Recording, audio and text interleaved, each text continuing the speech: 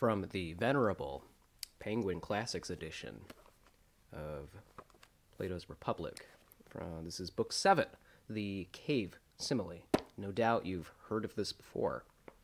Or if you haven't, what are you doing here?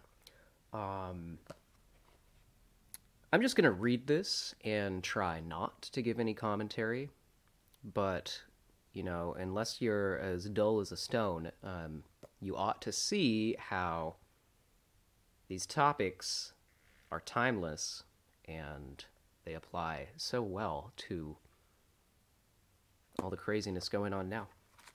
First, the introduction uh, by H.D.P. Lee here. Again, uh, Book 7 from Plato's Republic. The simile of the cave is a more graphic presentation of the truths presented in the analogy of the line, the divided line. In particular, it tells us more about the two states of mind called in the line analogy belief and illusion. We are shown the ascent of the mind from illusion to pure philosophy, and the difficulties which accompany its progress. And the philosopher, when he has achieved the supreme vision, is required to return to the cave and serve his fellows, his very unwillingness to do so being his chief qualification.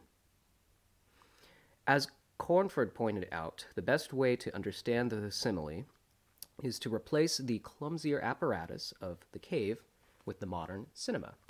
Or, considering this was put out in the 40s, think of a more modern analogy.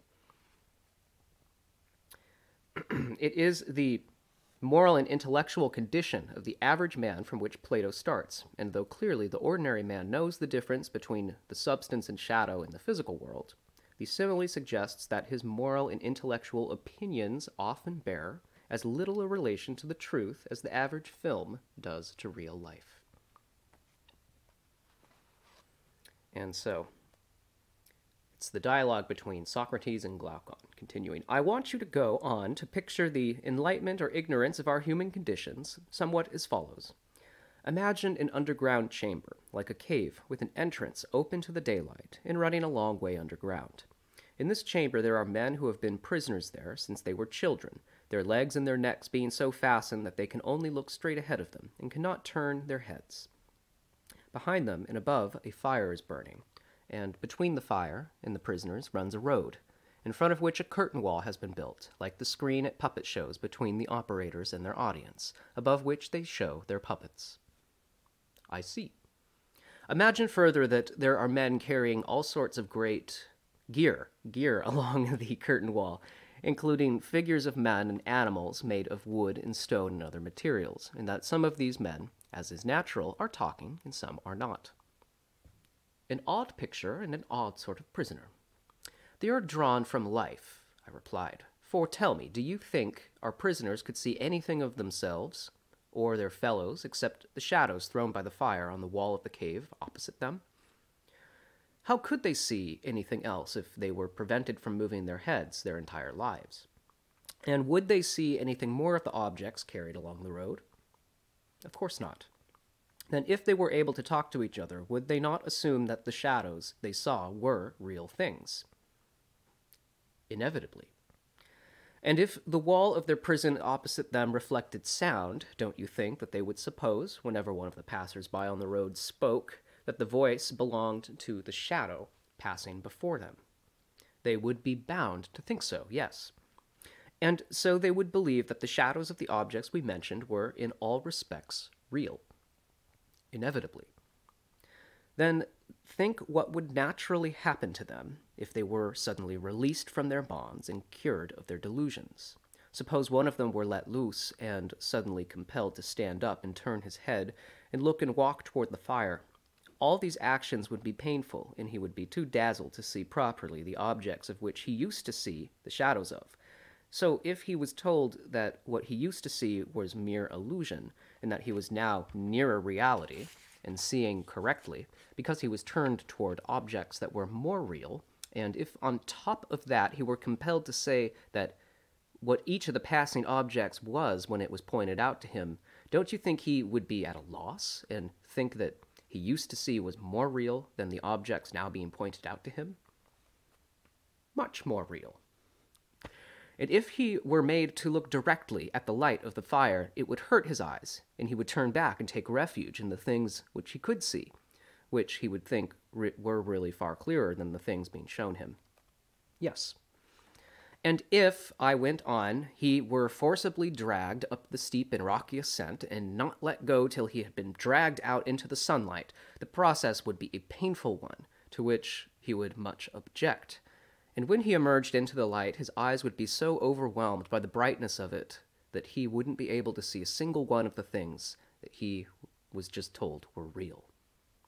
Certainly not at first. He agreed. Because he knew he would need to grow accustomed to the light before he could see things in the world outside the cave. First, he would find it easier to look at shadows, next, at the reflections of men and other objects in water, and later on at the objects themselves. And after that, he would find it easier to observe the heavenly bodies of the sky at night and then by day, and to look at the light of the moon and the stars rather than at the sun and its light. Well, yes, of course. The thing he would be able to do last would be to look directly at the sun and observe its nature without using reflections in water or any other medium, but just as it is. Yes, that must come last. Later on, he would come to the conclusion that it is the sun that produces the changing seasons and years and controls everything else in the visible world, and is, in a sense, responsible for everything that he and his fellow prisoners once used to see. That is the conclusion he would certainly reach. And when he thought of his first home and what passed for wisdom down there, and of his fellow prisoners, don't you think that he would congratulate himself on his good fortune and be sorry for them? Very much so. There was probably a certain amount of honor and glory to be won among the prisoners, and prizes for keen sightedness for anyone who could remember the order of sequence among the passing shadows and so be best able to predict their future appearances. Will our released prisoner hanker after these prizes, or envy this power or honor? Won't he be more likely to feel, as Homer says, that he would be he would far rather be a serf in the house of some landless man, or indeed anything else in the world than live and think as they do? Yes, he replied, he would prefer anything to a life like theirs. Then what do you think would happen? I asked if he went back to sit in his old seat in the cave? Wouldn't his eyes be blinded by the darkness because he had come in suddenly out of the daylight? Certainly, yes. And if he had to discriminate between the shadows in competition with the other prisoners while he was still blinded and before his eyes got used to the darkness, a process that might take some time, wouldn't he be likely to make a fool of himself? And, it, and they would say that his visit to the upper world had ruined his sight, and that the ascent was not worth even attempting. And if anyone tried to release them and lead them up, they would certainly kill him if they couldn't lay hands on him. They certainly would. Now, my dear Glaucon, I went on, this simile must be connected throughout with what preceded it. The visible realm corresponds to the prison, and the light of the fire in the prison to the power of the sun. And you won't go wrong if you connect the ascent into the upper world and the sight of the objects there with the upper progress of the mind into the intelligible realm. That's my guess, which is what you are anxious to hear. The truth of the matter is, after all, known only to God, but in my opinion, for what it is worth, the final thing to be perceived in the intelligible realm, and perceived only with difficulty, is the absolute form of good. Once seen, it is inferred to be responsible for everything right and good, producing in the visible realm light and the source of light, and being in the intelligible realm itself, controlling source of reality and intelligence.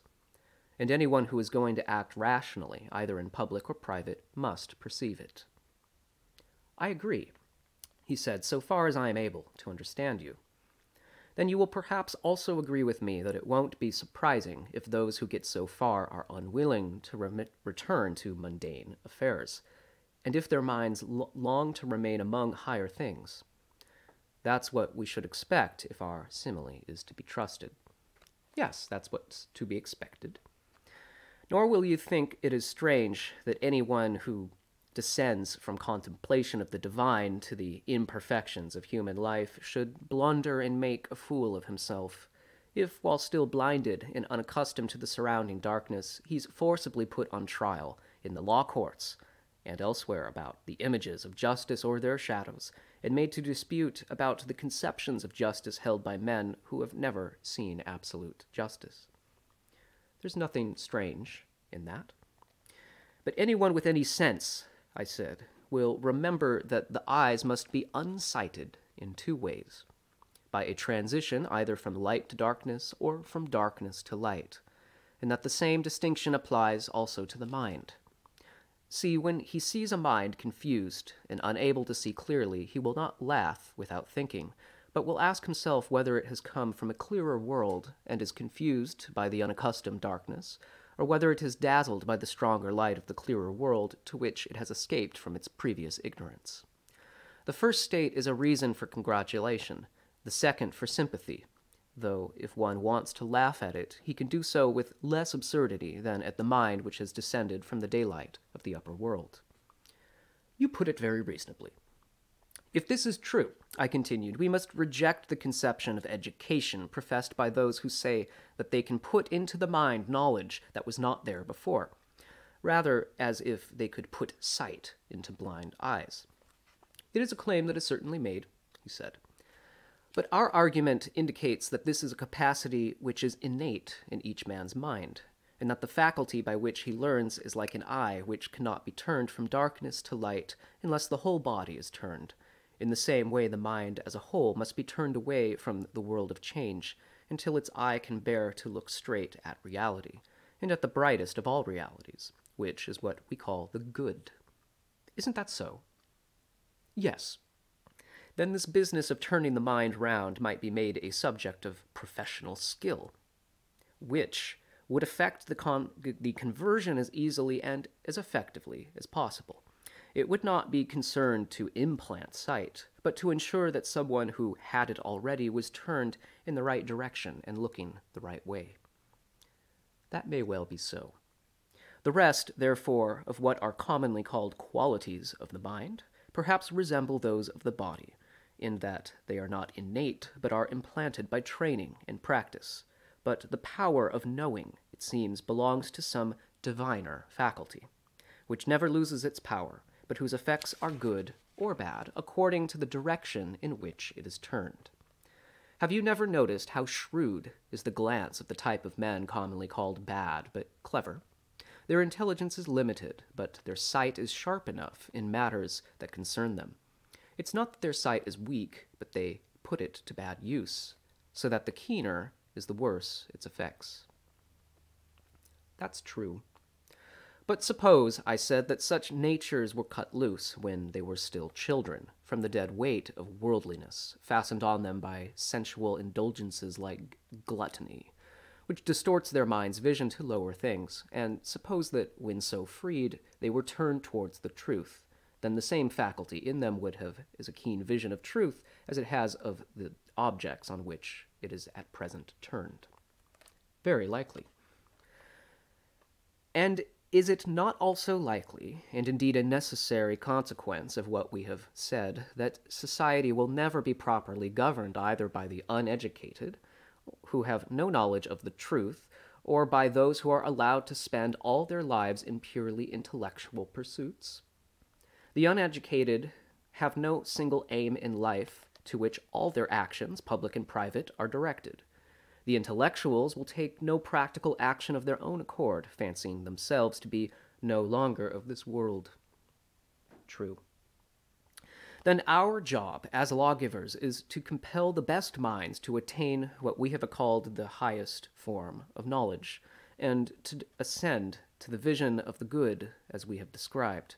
And when they have achieved this and seem enough, seen enough, prevent them behaving as they do now. What do you mean by that? Remaining in the upper world and refusing to return again to the prisoners in the cave below and to share their labors and rewards, whether they are worth having or not. But surely, he protested, that will not be fair. We shall be compelling them to live a poorer life than they might live. The object of our legislation, I reminded him again, is not the welfare of any particular class, but of the whole community. It uses persuasion or force to unite all citizens and make them share together the benefits which each individually can confer on the community, and its purpose in fostering this attitude is not to enable everyone to please himself, but to make each man a link in the unity of the whole. You are right. I had forgotten, he said. You see then, Glaucon, I went on, we shan't be unfair to our philosophers, but shall be quite justified in compelling them to have some care and responsibility for others. We shall tell them that philosophers in other states can reasonably refuse to take part in the hard work of politics, for society produces them quite involuntarily and unintentionally, and it is only just that anything that grows up on its own should feel it has nothing to repay for an upbringing which owes to no one. But you, we shall say, have been bred to rule to your own advantage and that of the whole community, like king bees, queen bees in a hive. You are better educated than the rest and better qualified to combine the practice of philosophy and politics. You must therefore each descend in turn and live with your fellows in the cave and get used to seeing in the dark. Once you get used to it, you will see a thousand times better than they do once. Hang on. Once you get used to it, you will see a thousand times better than they do, and will recognize the various shadows, and know what they are shadows of, because you have seen the truth about things right and just and good. And so our state, and yours, will be really awake, and not merely dreaming, like most societies today, with their shadow battles and their struggles for political power, which they treat as some great prize. The truth is quite different. The state, whose rulers come to their duties with least enthusiasm, is bound to have the best and the most tranquil government, and the state whose rulers are eager to rule, the worst. I quite agree. Then will our pupils, when they hear what we say, refuse to take their share of the hard work of government, though spending the greater part of their time together in pure airs of philosophy? They cannot refuse, for we are making a just demand of just men. But of course, unlike present rulers, they will approach the business of government as an unavoidable necessity. Yes, of course, I agreed. The truth is that if you want a well governed state, you must find for your future rulers some career they like better than government, for only then will you have government by the truly rich, those, that is, whose riches consist not of money, but of happiness, of a right and rational life. If you get in public affairs men who are so morally impoverished that they have nothing they can contribute themselves, but who hope to snatch some compensation for their own inadequacy from a political career, there can never be good government. They start fighting for power, and the consequent internal and domestic conflicts ruin both them and society. True indeed. Is there any other life except that of true philosophy which looks down on political power? None that I know of. And yet the only men to get power should be men who do not love it, although otherwise we shall have rivals' quarrels. That is certain. Who else, then, are we to compel to undertake the responsibilities of ruling, if it is not to be those who know most about good government and who value who yet value other things more highly than politics and its rewards. There is no one else.